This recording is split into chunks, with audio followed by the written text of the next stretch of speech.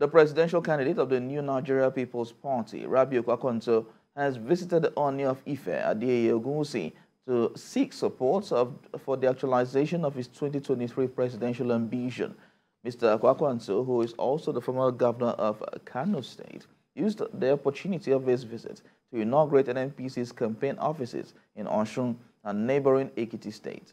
The NNPP candidate thanks the monarch, the Ife Council, and the people of Ile-Ife for the grand reception accorded him, and also expressed gratitude to his party members for the work so far done.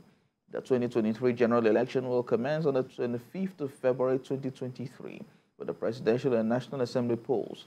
With the exercise barely two months away, top political candidates have deployed various strategies in canvassing for votes.